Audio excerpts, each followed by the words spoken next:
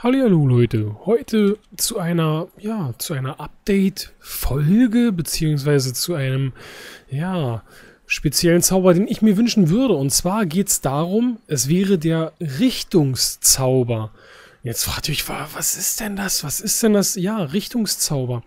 Wir gucken mal einfach in ein paar Angriffe von mir rein. Also ihr kennt es ja, es geht bei mir wirklich um Queen, Heiler und das läuft ganz gut.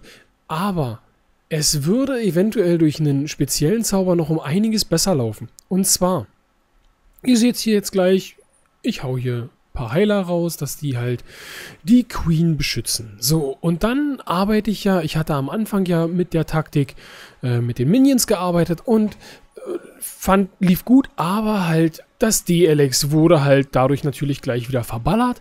Wollte ich nicht.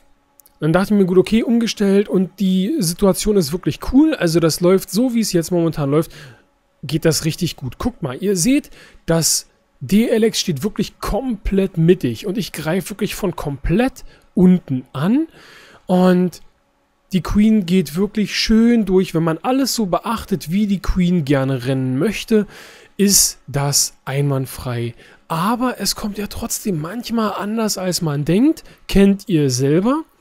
Und dafür wäre einfach der Richtungszauber einwandfrei oder ein Navi-Zauber, ein Navigationszauber, irgendwie hier noch kurz den Rage gedroppt und dann war das ganz nice.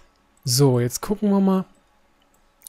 Und hier seht ihr, jetzt geht die Queen schön aufs Dunkle, so wie wir es haben wollen und gibt mir natürlich hier die extra Portion Dunkles, dass ich die Queen dann auch bald wieder upgraden kann. Ich brauche 95k. Ich dachte am Anfang auch, boah, wie kriege ich die denn hin? Weil die Helden halt so megamäßig teuer sind. Mittlerweile lache ich drüber, ganz ehrlich. Also dieses jeden, jede Zeit oder immer wieder einen Held schlafen zu legen, klappt bis jetzt immer noch. Also das, also klar, jetzt schlafen sie gerade nicht beide, aber ich kann ja die Queen gleich wieder schlafen legen. Und außerdem hatte ich sie natürlich beide um beim CW angreifen zu können. Also das hat einwandfrei geklappt und hier habe ich noch gerade den Rage rausgepackt, weil ich halt nicht so lange darauf warten wollte, dass die Queen wieder loslegt, weil sonst würde man sich sagen, warum haut dann jetzt noch ein Rage raus? Ganz einfache Geschichte.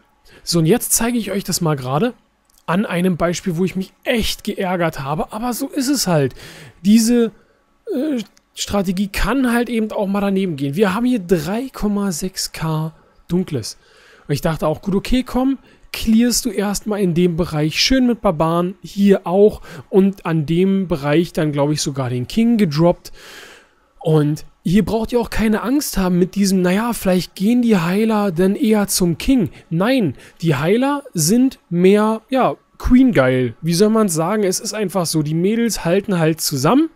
Und deswegen, wenn ihr King und Queen gleichzeitig droppt, wird der Heiler sich im Normalfall immer für die Queen entscheiden. Also so habe ich es wirklich mitbekommen. So, und jetzt der Bereich. Also das ist noch vollkommen legitim, weil die Queen hat hier die nächsten Sachen ähm, in der Nähe. Dann werden die natürlich erst gekillt. So, Jetzt klar, erst das Goldlager, dann eventuell Tesla. Ich würde sagen, dann geht sie erst auf die Tesla danach. Gucken wir mal.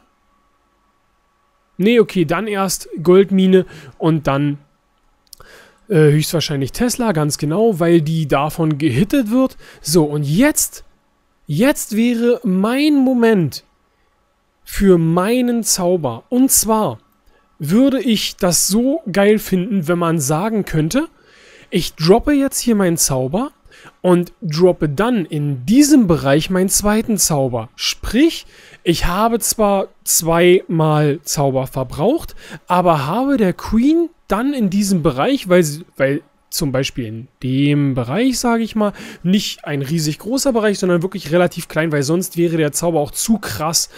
Ähm, und dann droppt man hier halt noch ein und dann zeigt man der Einheit, die in diesem Kreis drin ist, du musst jetzt da lang gehen. Egal was da ist, ob da fünf Mauern sind, vollkommen egal.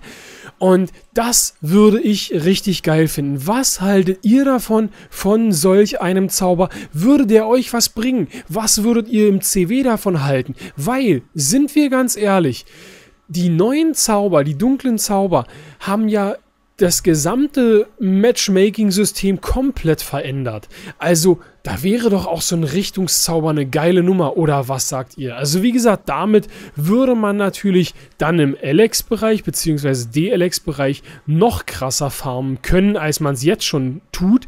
Aber das wäre echt richtig geil. Das würde mir richtig gut gefallen. Also wie gesagt, ich bin auf eure Meinungen gespannt dazu. Was sagt ihr dazu? Wie findet ihr das? Hier seht ihr halt, wie gesagt, dass die Queen hier noch ein bisschen was regelt. Sie geht auch noch in den inneren Bereich. Sie holt sie auch noch das Alex. Ich glaube, der Bohrer wird auch noch gekillt. Aber es war halt nicht mehr.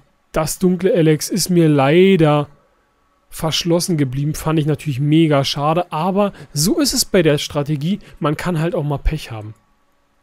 Das soll es dazu gewesen sein. Wie gesagt, lasst es mich einfach wissen, was haltet ihr von dem Zauber.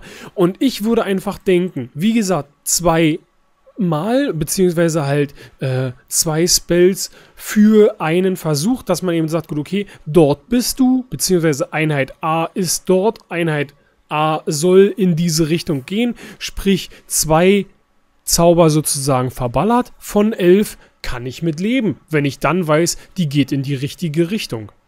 Das soll es dazu gewesen sein. Wenn ihr mehr so eine Videos sehen wollt, dann lasst es mich einfach wissen. Das war's von mir. Wenn es euch gefallen hat, lasst einen Daumen nach oben da. Ich wünsche euch was. Ciao, ciao.